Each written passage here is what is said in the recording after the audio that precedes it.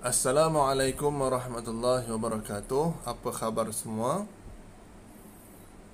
Ya, saya Ustaz Fikri bersama-sama dengan murid-murid sekalian untuk pelajaran tahun 3 uh, akidah yang bertajuk Allah Al-Alim dan Al-Hakim. Ya, pelajaran lepas kita bertemu berkenaan dengan uh, sifat-sifat Allah ini. Dua, iaitu Al-Alim, Allah Maha mengetahui dan juga Al-Hakim, Allah Maha bijaksana.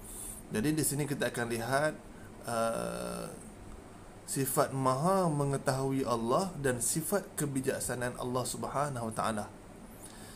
Pelajaran yang lepas, kalau murid-murid buka muka surat 67, kita menyaksikan murid-murid uh, di dalam uh, buku teks ini mereka pergi melawat di sebuah tempat akuarium yang di dalamnya ada banyak hidupan di dalam laut. Jadi di situ mereka melihat Allah ini maha mengetahui dan maha bijaksana. Kenapa? Kejadian Allah tersebut tidak mampu dilakukan oleh manusia. Ya, ini bagi orang-orang yang orang-orang yang berfikir mereka akan nampak kehebatan Allah Subhanahu Wa Taala. Baik. Sekarang kita akan lihat uh, muka surat 68 ya boleh tengok dalam buku teks iaitu dalil naqli nama Allah Al-Alim dan Al-Hakim. Ya, dalil bukti bahawa Allah ini mempunyai kedua-dua sifat iaitu Al-Alim dan Al-Hakim. Bukti dari mana? Daripada dalil nakli. Dari nakli apa? Dalil daripada Al-Quran dan hadis Nabi. Baik. Kita tengok. Um, tengok yang pertama tersebut ya ini adalah perbualan di antara uh, ustazah dengan murid-muridnya ya selepas mereka melihat uh, akuarium tersebut kita tengok ya, yang pertama. Apakah pandangan kamu tentang makhluk ciptaan Allah Subhanahu wa taala yang kita lihat sebentar tadi? Ha ya. Ciptaan Allah sebentar tadi. Baik. Jadi muridnya berkata yang biru yang nombor dua. Allah Subhanahu wa taala Maha mengetahui dan Maha bijaksana. Ilmu dan kebijaksanaan Allah tidak ada tandingan. Jadi mereka akui apa yang mereka lihat tersebut tidak akan mampu manusia lakukan dan jadikan sebiji macam mana Allah jadikan. Berbeza kan? Ada sini yang boleh buat ikan. Ada. Ada sini yang boleh buat ayam. Ada. Okey yang paling mudah. Ada tak sini yang boleh buat uh, obo-obo? Tahu obo-obo? Kan? Tak boleh. Siapa yang boleh buat? Allah Subhanahu Wa Taala. Hebat tak Allah? Hebat. Kita tengok lagi nombor tiga. Ustazah kata, betul murid-murid, ilmu dan kebijaksanaan Allah Subhanahu Wa Taala berbeza daripada manusia. Tengok. Ilmu dan kebijaksanaan manusia terbatas sedangkan ilmu dan kebijaksanaan Allah tidak terbatas. Nampak kan? Allah jadikan seluruh alam ni hebat semenjak daripada mula Allah jadikan sampai hari ni. Elok je, tak ada apa-apa. Itu tanda kebijaksanaan Allah sesuai untuk manusia. Tetapi manusia kalau buat kereta tahun ni agak-agaklah 10 tahun akan datang boleh pakai elok lagi tak? Boleh pakai tapi sama tak keadaan dia? Pasti ber, berbeza. Ini tandanya apa? Tandanya manusia bijak. Manusia maha mengetahui tetapi terba terbatas. Ya. Kita hari ni adik-adik semua, murid-murid semua di hadapan ustaz ni, ya kita kalau nak pandai nak jadi uh, orang yang mengetahui kita kena kena belajar. Baru kita jadi orang yang pandai. Orang yang bi orang bijak. Tetapi Allah Allah dia memang bijak. Memang maha mengetahui sejak awal lagi. Ha, itu beza Allah dengan kita manusia. Kenapa? Allah itu adalah Tuhan Tuhan kita. Ya? Sebab tu manusia ni terba terbatas. Ingat eh? Terba terbatas. Empat Anak murid pun berkata, Ustazah, apakah dalil, dalil nakli Allah Al-Alim dan Al-Hakim? Baik, jawapan Ustazah ni kita baca sama-sama. Eh? Firman Allah Subhanahu Wa Taala. Okay, ikut Ustaz ya. Wallahu ha, Ikut sama-sama sekali lagi. Wallahu Alimun Hakim. Ha, kita ulang sekali lagi ya. Wallahu alimun hakim.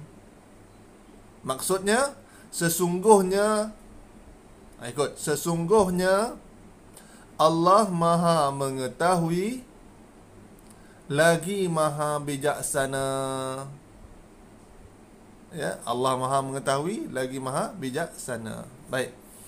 Jadi di sini kita dapat simpulkan bahawa Allah itu terbukti kehebatannya bila mana manusia menggunakan akal melihat setiap kejadian Allah Subhanahu Wa Taala. Baik. Sekarang ni kita nak tengok ya. Pada muka surat 69 ya. Allah menceritakan kesan beriman dengan nama Allah Al-Alim dan Al-Hakim. Apa yang kita akan dapat andai kita beriman dengan sifat Al-Alim dan Al-Hakim? Okey, pertama kita tengok eh. Yang pertama ni kita nampak murid-murid ni main tab ke handphone ke, tetapi dia guna untuk apa? Belajar ilmu yang bermanfaat. Ya. Yeah. Okey. Apa pun kita buat waktu-waktu yang kita ada, kita belajarlah ilmu yang bermanfaat. Kedua, ha, kita pakai pen sikit ya.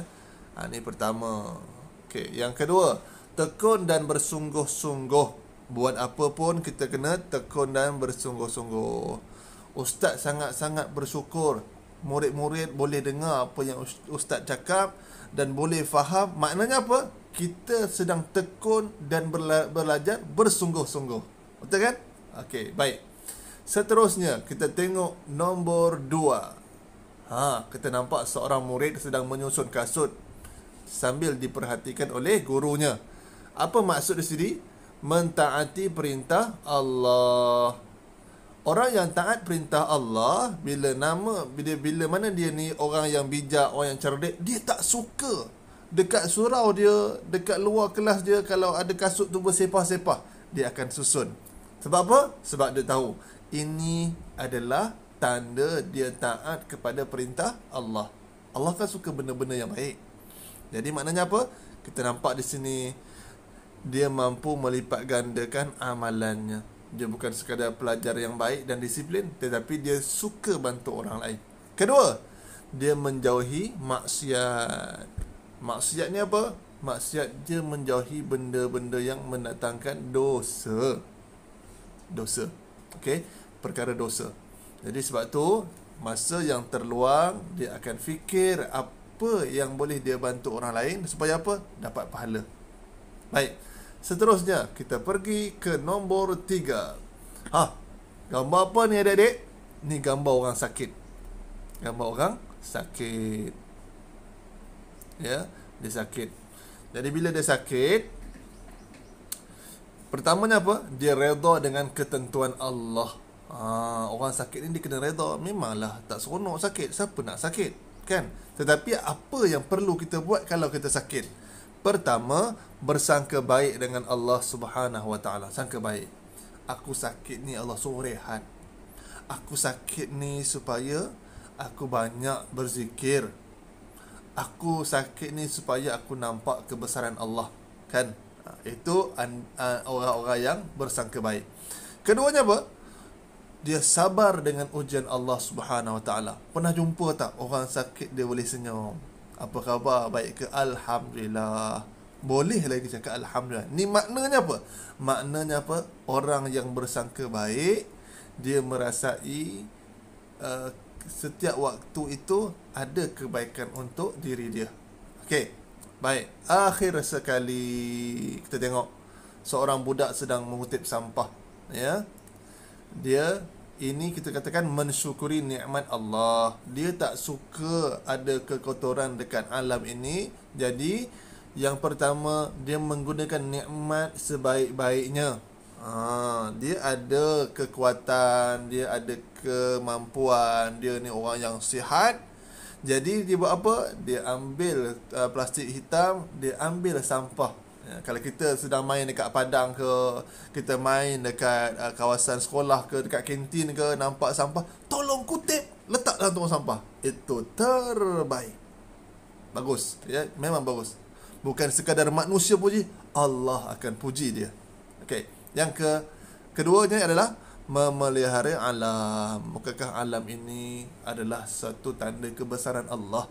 Bila kita jaga kebesaran Allah, Allah akan sayang kepada hamba-hambanya. Insya-Allah Allah permudahkan urusan kita dan Allah jadikan kita daripada kalangan orang-orang yang mendapat kebaikan. Kenapa? Kerana kita beriman dengan Al-Alim dan Al-Hakim. Insya-Allah moga-moga tempoh yang singkat ini memberi kefahaman kepada kita agar bersungguh-sungguh berbuat perkara kebaikan bersungguh-sungguh untuk menjadi orang-orang yang taat kepada perintah Allah Subhanahu Taala itu saja daripada ustaz.